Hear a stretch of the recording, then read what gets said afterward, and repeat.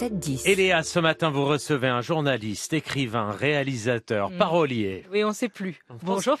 Bonjour Philippe Labro. Bonjour, Merci d'être avec nous ce matin. je vous en prie. Si vous étiez un livre et si vous étiez un pays, vous seriez quoi? Le livre, je serais le recueil de poèmes d'Apollinaire, Alcool. Je connais gens de toutes sortes. Ils n'égalent pas leur destin. Indécis comme feuilles mortes, leurs yeux sont des feux mal éteints, leur cœur bouge comme les portes. Apollinaire, c'est la grande poésie, c'est les mots les plus simples du monde, mais la manière dont il les conduit, dont il les structure, c'est de la musique. Apollinaire donc. Et si vous étiez un pays? Mais je serais la France. Douce France, Vous seriez la France. douce France, cher pays de mon enfance. Ouais. C'est ça, je voulais savoir si, Bercé si de vous alliez... tendre insouciance, Mais je disait la- Trenet. Il n'y a, plus de tendresse ni d'insouciance, mais ça reste la douce France. Mais le pays, ça serait le sud-ouest, ça serait mon pays natal. Ouais, le sud-ouest. Ça serait les rives de l'Aveyron. Montauban. J'écris pour être heureux, dit le grand écrivain turc Orhan Pamuk, que vous citez dans le livre dont on va parler dans un instant. Vous aussi, vous écrivez pour être heureux. Ouais, J'écris pour écrire, parce que j'en ai besoin et envie. Oui, bah, il n'y a, pas besoin d'écrire pour être heureux. On peut aussi trouver le bonheur autrement, avec les enfants, avec la famille, avec les amis, avec les voyages, avec les lectures. Mais il y a effectivement dans l'acte de l'écriture, dans cette solitude face à des mots qui n'arrivent pas, ou au contraire des images qui vous assaillent, un vrai bonheur. ouais. Ouais. C'est pas une douleur. Moi, les gens qui parlent de la douleur de l'écriture, je rigole. La douleur, c'est de trouver effectivement le, le moment et les, et les verbes. L'écriture et le bonheur, il en est question dans votre nouveau livre, ces écrits américains qui sortent dans la prestigieuse collection Quarto de Gallimard. On va en parler. Difficile tout de même, là, Nicolas, en, en- vous lançant, difficile de, résu- de résumer votre vie, Philippe Labro, tant vous en avez eu des vies et tant elles furent romanesques. Journaliste, figure des médias, vous avez dirigé RTL notamment pendant 15 ans. Euh, écrivain, vous avez publié plus de 25 livres qui furent quasiment tous des succès de librairie. Euh, réalisateur, vous avez fait tourner Jean-Paul Belmondo, Jean-Louis Trintignant, Yves Montand. Vous avez été aussi le premier à faire tourner Fabrice Lucchini quand il avait 17 ans. Vous avez été le, parolier aussi. Vous avez écrit des chansons pour Johnny, mais aussi, on le sait moins, pour Serge Gainsbourg. L'éclectisme a déterminé, a fondé votre vie. L'éc- L'éclectisme est un certain goût de l'absolu.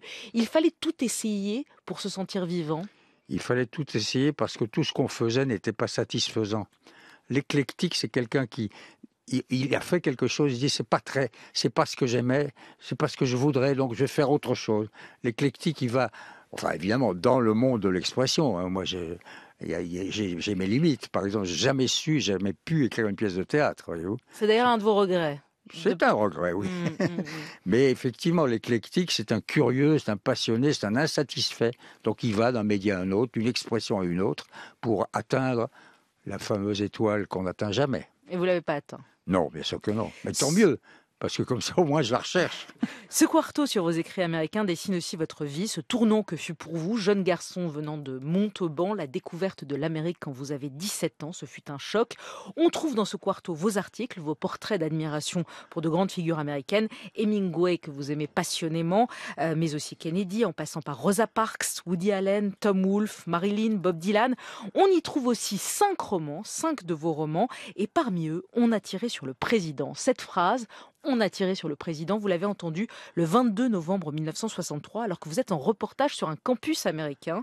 Vous quittez tout pour aller à Dallas, où ça se passe, envoyé par Lazareff pour François, et vous êtes le premier journaliste français à arriver sur les lieux. Et là, vous vous souvenez de ce que vous dit le taxi quand vous arrivez à Dallas. Qu'est-ce qu'il vous dit? Ben, c'est extraordinaire. Donc je descends euh, samedi matin, donc j'ai appris ça le vendredi, j'ai tout de suite pris une voiture pour aller à New York prendre un avion. J'arrive, euh, premier avion à Dallas, et je prends un taxi avec euh, un driver euh, tout à fait texan, hein, avec les roues flaquettes, avec euh, le, chapeau sur la tête. hein. Et je lui dis, quelle tragédie quand même, non? Et il me répond avec son accent très lourd, It was about time. Et Ce qui veut dire, il était grand temps. Il était grand temps qu'on tue Kennedy. Donc j'ai fermé ma gueule, je lui ai dit, écoutez, amenez-moi au commissariat. Et, et là, on va voir ce que vous avez, ce que vous avez vu et retenu, et qui vous avez vu notamment. Mais voilà ce que donne le reportage de Philippe Labro pour 5 colonnes à la une. On est le 6 décembre 1963. Voici donc Dallas, Texas, la ville où fut tué le président Kennedy, où fut tué Oswald, où fut tué l'officier de police Tippit, la ville aux trois cadavres. Pendant 15 jours, Dallas a été le centre du monde. Mais le monde n'avait aucune idée de ce qu'était vraiment Dallas. Cette ville à jamais célèbre, à jamais maudite dans le cœur de centaines de millions d'Américains. Dallas n'est pas, comme on peut le croire, un bourg de western perdu au milieu du désert. Dallas, un million d'habitants, c'est une énorme cité américaine, dure, sale, étincelante aussi et inhumaine, et pourtant terriblement provinciale.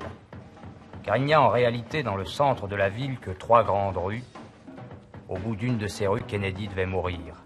Trois grandes rues que l'on arpente en Cadillac ou avec les bottes de cowboy, car nous sommes ici au Texas, et au Texas, on s'habille comme des Texans. Il fait rire le jeune Labro avec cette, cette voix aussi. la aussi hein. théâtrale. Pardon Aussi théâtrale. Oui, très, oui, oui. Il vous fait rire le jeune Labro. Hein. Oui. Alors à ce moment-là, vous allez croiser pendant 24 heures, c'est quand même absolument fou. C'est là où ça a été le tournant de votre vie. Vous allez croiser Lee Harvey Oswald, l'homme qui a tiré sur Kennedy. Vous dites, il m'a marqué. C'était un jeune homme de 24 ans. Il avait un air de Ryan Gosling dans Drive en plus moche. Et vous êtes marqué par son rictus, son petit sourire là qui voulait dire je suis content d'être l'homme le plus important du monde pendant 24 heures. Parce que ça ne va durer que 24 heures, parce que là aussi, ce qui est fou, c'est que vous allez croiser celui qui va le tuer le lendemain en 24 heures, le fameux euh, Jack Ruby, Ruby. Jack Ruby, qui était patron de boîte de nuit, et avec qui vous allez discuter avant qu'il tire sur Oswald. Oui, le- Fou quand même. la veille. Oui, mais c'est-à-dire qu'il faut savoir que le commissariat de poli- police de Dallas, c'était, pardonnez-moi l'expression, un bordel. C'est un casino, comme disaient les Italiens. On pouvait rentrer et sortir comme on voulait. On était plus de 300. Euh, il y avait des câbles la télé, parce qu'à l'époque c'était beaucoup plus lourd, les le matériau, tout ça, et qui avait tout envahi. Et les malheureux policiers se frayaient un chemin à travers nos haies, nos véritables barrières humaines, pour amener Oswald dans un petit bureau que nous voyions, puisque c'était des vitres, comme ici dans votre studio. Et on voyait comment le capitaine Fritz, qui était le patron, le, le shérif de, de la maison, interrogeait Oswald sans sténo, sans magnétophone, sans prendre de notes. Voilà, il a l'homme le plus important du monde, effectivement, face à lui, et là, il, parle. Bon, oui, je l'ai croisé, je l'ai pas croisé, je l'ai vu passer devant moi plusieurs fois. Il passait devant nous, comme je vous vois vous. Nous avions le même âge, d'ailleurs. Vous dites 24 ans, moi j'avais cet âge-là. hein. Et effectivement, j'ai toujours été frappé par ce sourire et cet air de dire, écoutez, j'en sais beaucoup plus que vous. Je suis l'homme le plus important du monde. Je vous emmerde. Et j'ai tué Kennedy. L'Amérique devient alors pour vous votre paysage intérieur, cette découverte de l'Amérique, ce moment à Dallas qui va changer votre vie et qui va euh, vous faire connaître en France parce que vous êtes le premier journaliste français à être là.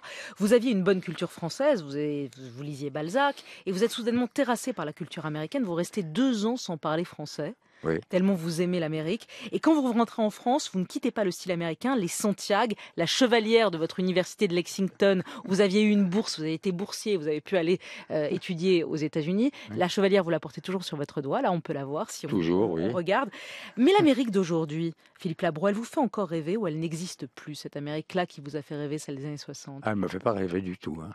Celle d'aujourd'hui? Oui, celle d'aujourd'hui, non. En revanche, elle me procure quelques cauchemars. D'abord, face à ce qui se passe, et vous l'avez suivi et raconté dans les universités américaines, Qu'est-ce qui se passe? Est-ce que vous le comprenez ce qui... c'est très dur à comprendre. Comment, d'un seul coup, toute une jeunesse étudiantine, parce qu'attention, ça ne s'applique pas forcément au reste de l'Amérique, a été influencée, manipulée au point de souhaiter euh, un génocide juif. Au point que les présidentes de ces universités ont été obligées d'admettre qu'on pouvait éventuellement parler de cela. Ça dépend du contexte, elles ont Oui, répondu. mais c'est une horreur de dire ça. Donc cette Amérique-là, elle me trouble, elle m'inquiète. Et l'Amérique de Trump, euh, dans le, le Quarto, vous parlez de Trump, que vous appelez Oui. le président indécent. C'est dans un chapitre qui s'appelle Le carnage américain. Mais vous écrivez tout de même Il perçoit et enregistre ce qu'aucun autre candidat n'a compris. Il existe un peuple de blancs non, édi- non éduqués, racistes, haïssant les intellos et l'establishment. C'est à eux que je m'adresse. C'est eux qui m'éliront à la préscience, à cette préscience-là à Trump. Est-ce que vous pensez que eux l'éliront à nouveau l'année prochaine? C'est possible, c'est probable. C'est en tout cas à craindre, parce qu'en face, il y a un très bon président. Il faut savoir que Joe Biden est un excellent président.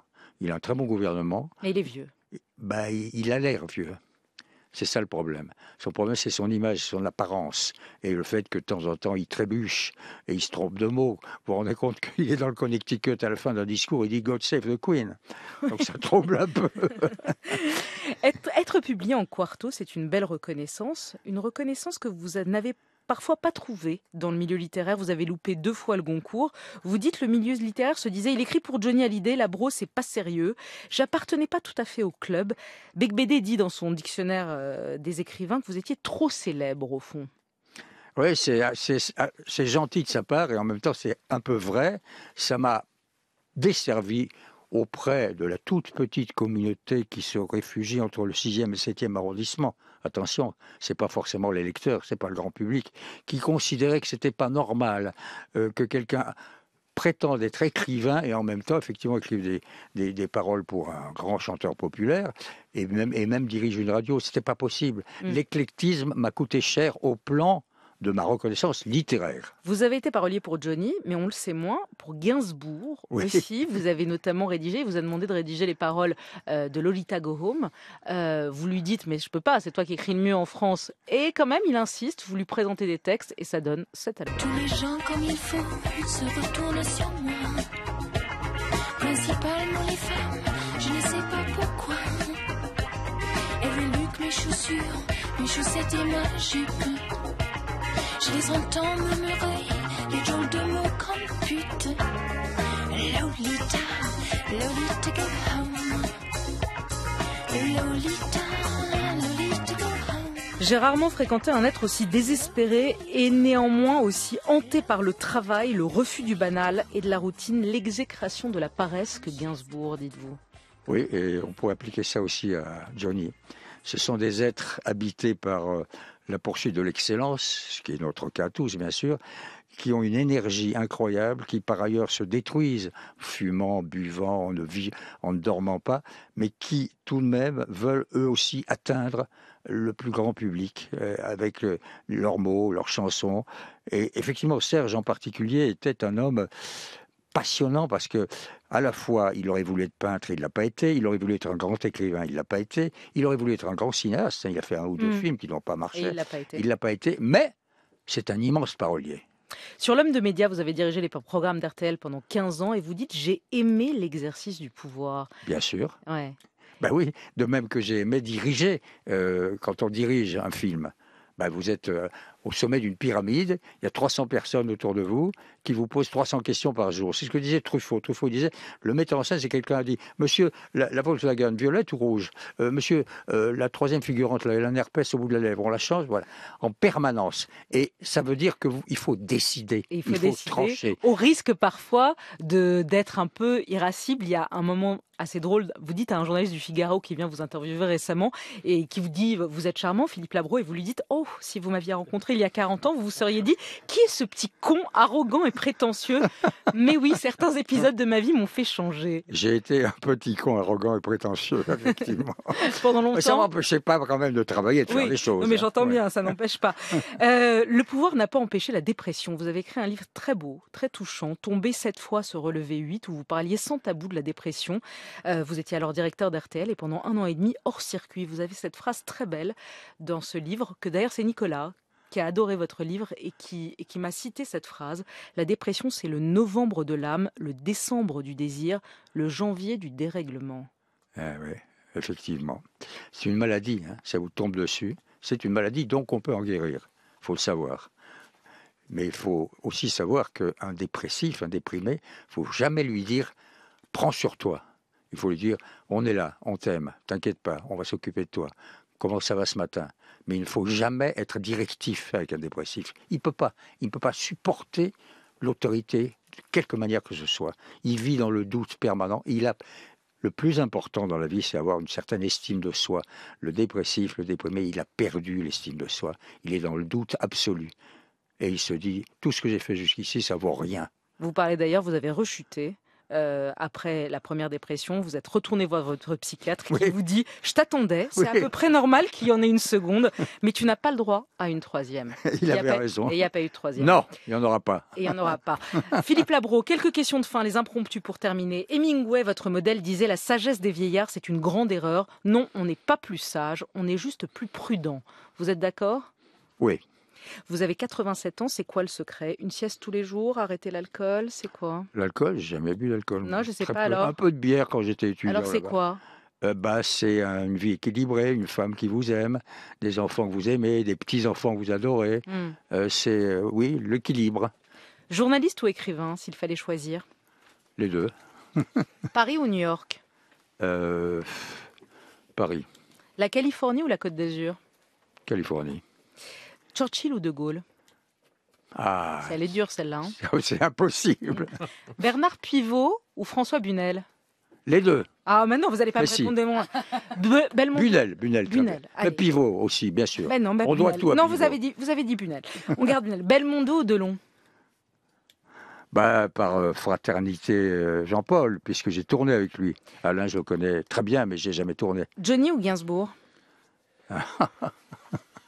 Johnny. Bob Dylan ou Léonard Cohen? Ah, mais c'est- vos questions Oui, je sais. Mais oui, Léa. je vous ai dit, c'est très Mais c'est difficile. impossible. Oui, c'est comme ça. Dylan, Dylan. Télé ou radio? Radio. Réseau social ou non merci? Non, merci. BFM ou CNews, Philippe Labro? CNN. Ah tiens, il, il fut la question. Le JDD ou la tribune du dimanche? Le New York Times. Vincent Bolloré ou Pierre Lazareff? Jean-Luc Lagardère. Ah, il fuit tout L'Académie française, c'est non? Bah oui, c'est terminé ça. Vous pensez à la mort parfois? Et vous? Oui. Bah oui, bien sûr. Et la question Jacques Chancel pour terminer, et Dieu dans tout ça? Vous me donnez une définition de Dieu, je vous répondrai. Philippe Labro était notre invité. Les écrits américains, œuvres choisies, c'est dans euh, la, c'est la belle collection Quarto Gallimard avec des très très belles photos notamment et cinq romans pour le prix d'un. Merci et belle journée à vous, Philippe C'est moi qui vous remercie, Léa.